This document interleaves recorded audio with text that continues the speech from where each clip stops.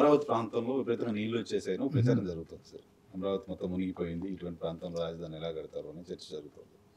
So మీ comment ఏంటి దానిపైన అది నీళ్ళు వచ్చే ప్రదేశమేనండి. రాందేం కాదు కదా రివర్ పక్కన మొట్టమొదటి నుంచి లో లయింగ్ బేసిక్గా అగ్రికల్చర్ ల్యాండ్ కానీ నీరు రాకపోవటం అనే ప్రసక్తి లేదు. ఏ స్థాయిలో వస్తుంది అనేది తప్పితే తప్పనిసరిగా వస్తుంది. రెండోది నీరు ఒక్కటే కాదు అక్కడ. బేసిక్గా మీకు ఆ soils are unsuitable for construction అది ఐ రిపీటెడ్లీ సే. ఇప్పుడు అక్కడ రెండు రెండు టవర్స్ ఏదో కట్టించడానికి లాస్ట్ టైం ప్రయత్నం చేసి ఫౌండేషన్స్ వేశారండి మనకి చెప్పేదాని ప్రకారం దాదాపు అది ఏదో థర్టీ ఫార్టీ మీటర్స్ ఎంతో ఫౌండేషన్కి వెళ్ళవలసి వచ్చింది అని చెప్పారండి. 40 meters. అది. వేరే నేను వైజాగ్ పోర్ట్ చైర్మన్ చేసిన అవుటర్ హార్బర్లో మేము అవుటర్ హార్బర్ బెర్త్ ఎక్స్పాన్షన్కి ఫౌండేషన్ స్టోన్ ట్వంటీ ఎయిట్ మీటర్స్లోనే వేసామండి. అంటే. సీలో. సీలో. అంటే ఆ- ట్వంటీ ఎయిట్ మీటర్స్కి అక్కడ రాయి రాయి పడింది. ఫౌండేషన్ వేసాము. ఇక్కడ నలభై మీటర్ల వరకు వెళ్ళవలసి వచ్చింది foundation వేయటానికంటే they are not suitable for bigger constructions అండి. ఏరియా అంటే ఎక్కడైనా బ్లాక్ కాటన్ సైల్ మా ఊరు బ్లాక్ కాటన్ సైల్. మేము పోయినసారి కళ్యాణ మండపం కట్టించాలంటే పద్దెనిమిది అడుగులు ఇరవై అడుగుల ఫౌండేషన్ వేయాల్సి వచ్చింది. అది మా ఊర్లో బ్లాక్ కాటన్ సాయిల్. సో అది problem is that area is not suitable for heavy constructions. That is పక్కా. అంటే మీరు ఏ టెక్నికల్ రిపోర్ట్ తీసుకున్నా అదే చెప్తారు. ఉమ్, అంటే లూజ్ సాయిల్ కింద బురద బురదగా ప్రవాహం ఉంటుంది అనేది వాటర్ లాగా. సో వాటిలో మీరు చాలా డెప్త్కి వెళ్ళి రాయి దొరికే వరకు వెళ్ళాలి అని అంటే cost is heavy. Is it worth it. పక్కనే పది కిలోమీటర్ల దూరంలో వెళ్తే మీకు నాగార్జున యూనివర్సిటీ ఏరియా అంత కొండ ప్రాంతమే ప్రాంతం. సో ఈ బురదలో మనము అంత కష్టపడి ఎందుకు కట్టుకోవాలి? అక్కడికి వెళ్తే పది అడుగుల్లోనే ఫౌండేషన్లో రాయి తగులుతుంది. పక్కనే కదా? Why we did not choose such area for constructions అనే ప్రశ్న వస్తుంది. నేను రిపీటెడ్గా చెప్పేది అదే. నా area is not suitable for heavy constructions రెండోది అసలు క్యాపిటల్ అనేది పెద్ద ఎత్తున ప్లాన్ చేసుకోవటం కూడా అవసరం లేదు అనేది. From the beginning I go on ఇప్పుడు మీరు కాలిఫోర్నియా వెళ్ళండి. నైంటీ పర్సెంట్ ఆఫ్ సిటిజన్స్ అని మీరు అడగండి. మీ క్యాపిటల్ ఏదని? ఉమ్. తెలియదండి చెప్పరు. తెలియదు ఒక అవసరం లేదు. ఉమ్, క్యాపిటల్ అక్కడ సాక్రమెంటోలో ఉంటుంది ఒక కార్నర్లో. బిగ్ టౌన్స్ అని లాస్ ఏంజలీస్ శాన్ ఫ్రాన్సిస్కో ఇవన్నీ మిలియన్స్ ఆఫ్ జనాభా ఉండేవి. అది ఒక చిన్న టౌన్ అండి సాక్రమెంటో. ఉమ్, సాక్రమెంటోలో ఉంటుంది వాళ్ళ క్యాపిటల్. సో నోబడి నోస్ అవసరం లేదు వాళ్ళకి ఏదికి అంటే anything and everything what they need is available locally. ఆ ఆఫీసులు కానీ వాట్ ఎవర్ రిక్వైర్డ్ క్లియరెన్సెస్కి ఏది కావాలన్నా కూడా అన్నీ locally available so who is bothered about capital అండి? అక్కడ ఎలక్టెడ్ సెనేటర్స్ ఎవరో వాళ్ళు వెళ్ళి ఎప్పుడో మీటింగ్ పెట్టుకోవడానికి కావాలి. Nothing else it's not required for anything else. అది పెద్ద సిటీలో క్యాపిటల్ ఉండాలా? లేకపోతే క్యాపిటల్ ఉన్న సిటీని పెద్దదిగా చేయాలి అనేది there are I mean hardly any example and in the world మీరు వాషింగ్టన్ తీసుకున్న తర్వాత కట్టిందే కదండి. ఒరిజినల్గా ఎక్కడ ఫిల్డెల్ఫియాలో ఉండేది. It's not New York or Los Angeles or Minneapolis or something. చిన్న ప్లేసే కదా. ఉమ్, తర్వాత కొంచెం కొంచెం డెవలప్ అవుతుంది.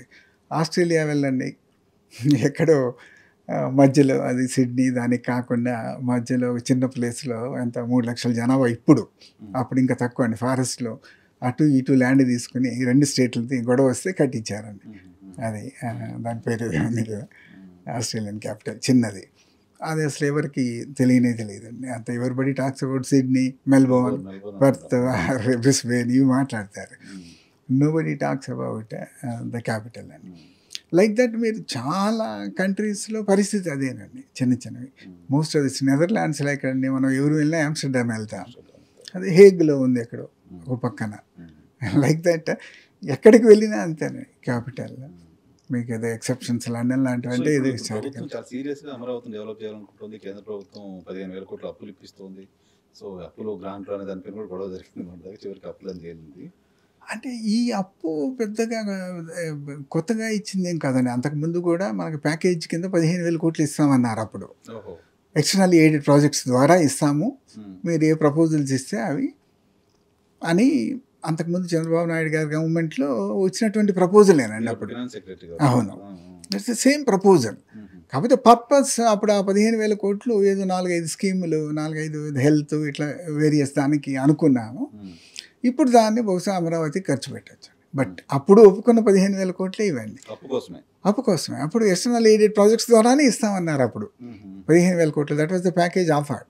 The same అంతే కదండి. ఫైవ్ ఇయర్స్ దాటిపోయింది కదా సెవెన్ ఇయర్స్ అయి ఉంటుంది అప్పుడు తీసుకుంటే ఉపయోగం ఉండేది ఆ, కానీ ఏదో కొన్ని రోడ్లకి ఐ థింక్ అప్పుడు కొన్ని పంచాయతీ రోడ్స్ ఇవి అదే మన మండల్ టు జిల్లా రోడ్స్ ఇవన్నిటికి ఒక ప్రాజెక్ట్ అని హెల్త్కి ఒక ప్రాజెక్ట్ అని అట్లా అప్పుడు recent I think maybe twenty five thirty thousand crores projects అంతేనండి. దాంట్లో ఒక పదిహేను వేల కోట్లు శాంక్షన్ చేస్తే దాన్ని అప్పుడు అంటే ఆ ప్యాకేజీలో ఆ పదిహేను వేల కోట్లు మేము తీర్చుకుంటాము అని.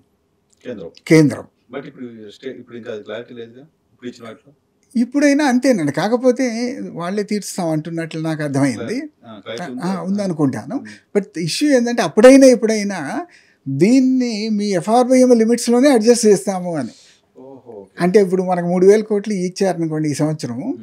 మనకి యాభై వేల కోట్లు ఎఫ్ఆర్బిఎం లిమిట్లు ఉంటే ఈ మూడు వేల కోట్లు with in that fifty thousand దానికి వాళ్ళు ఎందుకు చేయాలి ఎఫ్ఐఆర్ రాష్ట్ర ప్రభుత్వం ఒక స్వేచ్ఛ ఉంది కదా తెచ్చుకోవడానికి అంటే all externally aided borrowings they become part of the FRBM అన్నట్టు whether you borrow from outside or inside or anywhere. Borrower limit is this this is a borrowing. So obviously it fits అక్కడేమి relaxation it's not relaxation ఇవ్వలేదండి. దానికి అప్పుడు అడిగాము. They did not కన్సీడ్ అది అది ఎప్పుడు కన్సిడ్ చేసినట్టు లేదు.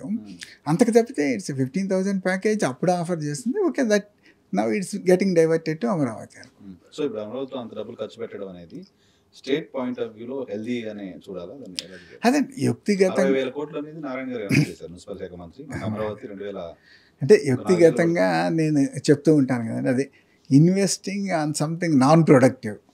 Like government buildings assembly ఇటువంటి వాటికి ఇన్ని వేల కోట్లు పెట్టి ఖర్చు పెట్టడం ఈజ్ నాట్ కరెక్ట్ అనేది నా ఉద్దేశం అండి ఎందుకంటే దాని అవసరం అతి తక్కువ మందికి అతి కొద్ది మందికి. సెక్రటేరియట్కి ఎవరు వెళ్తారండి మొట్టమొదటి నుంచి ఎవరు ఎవరు ఎమ్మెల్యేలు మినిస్టర్లు లేకపోతే బ్యూరోక్రాట్స్ కాంట్రాక్టర్లు అంతకు తప్పితే ఎవరు వెళ్ళరు కదండి. వెరాజ్ మీరు దాన్ని పర్పస్ఫుల్గా వేరే పనులకు ఉపయోగించుకోవచ్చు విలేజ్ సెక్రటేరియట్ మండల ఆఫీసు కలెక్టర్ ఆఫీసు సరిగా పనిచేస్తే అసలు ఇంక వీటి అవసరం ఏముందండి? So focus need to be though systems. ఆ ఇన్స్టిట్యూషన్స్ బాగా పనిచేయటట్లు చేసుకోవాలి తప్పితే ఇంకా అదర్వైజ్ నో పర్పస్ అండి క్యాపిటల్ వల్ల వచ్చేది ఏమి ఉండదు. I I don't see. Anybody got anything out of huge capital or huge structure. So దాని మీద ఎక్కువ డబ్బు ఖర్చు పెట్టడం అవసరం ఉమ్. అది రైతుల కమిట్మెంట్ ఏమన్నా ఉంటే దాని ప్రకారం అది డెవలప్ చేసి ఇవ్వాలి. ల్యాండ్ వాళ్ళ దగ్గర తీసుకున్నారు కాబట్టి ఉమ్. అసలు అంత అవసరము తీసుకోకుండా ఉండవలసిందండి ఎందుకంటే ఒక వెయ్యి వెయ్యి ఎకరాలు అయితే that's more than enough for సెక్రటేరియట్లు అసెంబ్లీలు వాటన్నిటికి కూడా. అదేండి కొండ ప్రాంతంలోనో ఏ ఆ యూనివర్సిటీ ప్రాంతంలో ఎక్కడో గట్టి గట్టి భూమి ఒక వెయ్యి ఎకరాలు తీసుకుంటే సరిపోయేదండి అప్పుడు వాళ్ళందరూ మన ఒడి శోభనాధీశ్వరరావు గారు వాళ్ళంతా అదేనండి అప్పుడు గొడవ హాయిగా అక్కడ వెయ్యి ఎకరాలకి ఇది సరిపోయేది ఇది అంతా ఎందుకండి రైతుల దగ్గర మట్టి కొట్టడం వాళ్ళ నోట్లో అని చెప్పి అప్పుడు బాగానే ఆర్గ్యూ చేశారు. But I think for whatever it is సరే నేను